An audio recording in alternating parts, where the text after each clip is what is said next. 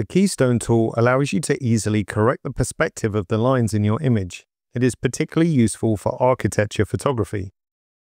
The simplest way to use it is clicking on the Auto button. You can also use the Keystone handles. There are three different modes. Horizontal only, vertical only, and horizontal and vertical combined.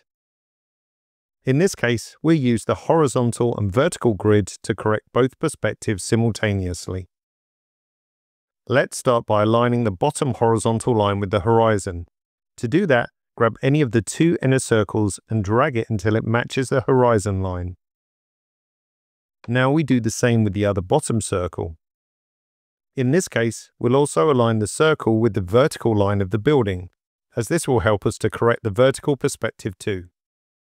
Now we can move on to adjusting the top circles to correct the vertical perspective. If you prefer, you can also use sliders to correct the perspective. Simply drag the horizontal, vertical and skew sliders until you are satisfied with the result.